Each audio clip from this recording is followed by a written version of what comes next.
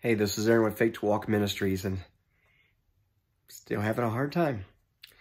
But I want to bring you one of my wife's You Are devotions, 60 seconds, January 8th. You are able to think and reason.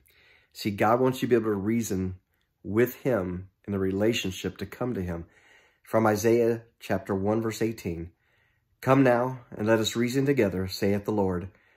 Though your sins be as scarlet, they shall be as white as snow. Though they be red like crimson, they shall be as wool. So I encourage you to use your reason, talk to the Lord, and let him bring you to him. Thank you for watching. God bless.